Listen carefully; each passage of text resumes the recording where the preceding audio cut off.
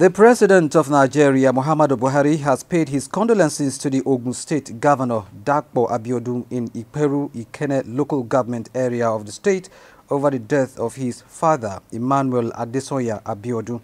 Represented by the Vice President, Professor Yemi Osinbajo, the President expressed his heartfelt condolence and prayed God to give the family the fortitude to bear the loss. Others on the entourage were the Speaker of the House of Representatives, Femi Gbajabiamila, Governor of Ondo State, Rotimi Akeredolu, and a former Governor of Ogun State, Chief Olusegun Osoba, among other dignitaries.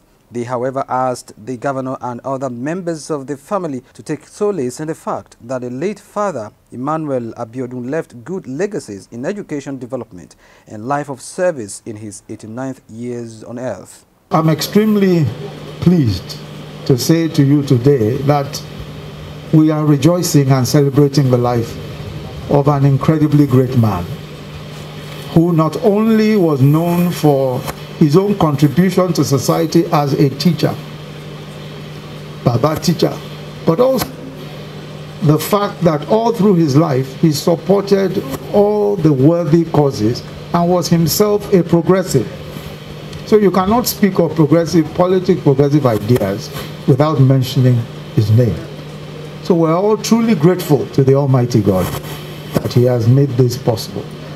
So while I express my condolence to you, uh, I know how painful this particular uh, loss was. I know how very painful. I, we can only pray that Mama will live long and well we are told they've been married for 65 years. That's a very long time. We're here to not to mourn because he has lived a good life and he has left us at a ripe old age. We pray, or we pray that has been prayed earlier, that we will live just as long as he has and maybe even beyond. God spare our life. So I want to want this opportunity to say to my friend and my brother, the governor of Ogun State, cry no more. Dry your tears. Weep no more. Baba has gone. He has on his own. He has left a legacy